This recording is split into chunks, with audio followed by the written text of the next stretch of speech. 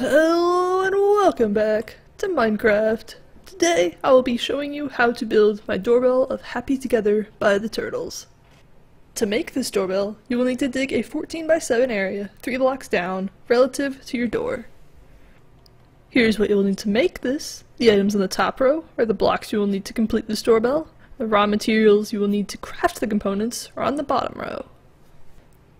To begin, you'll want to copy this pattern of dirt and wood I have here. The red blocks are where the repeaters will go, so you don't need a special block there.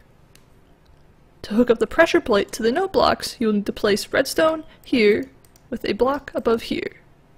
First, place down your note blocks on the dirt and wood. Next, right-click each note block the number of times shown on screen. Pause the video here until you've completed this step. Once you finish that, it's time for the repeaters. I will put the number of right clicks needed for each repeater on screen. Placing it down puts a one tick delay and takes one right click. This is two right clicks. Don't do this when I say two, because that is three ticks. This block is special. Put a piece of redstone there. The direction you will need to be facing is indicated by the arrows. If you did all those steps correctly, you should have something that sounds like this.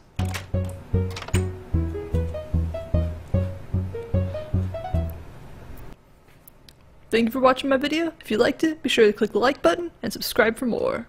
Make sure to leave your comments, questions, and suggestions below. I'll see you in the next video. Bye!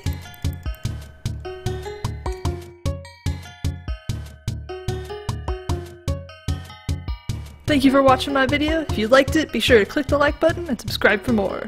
Make sure to leave your comments, questions, and suggestions.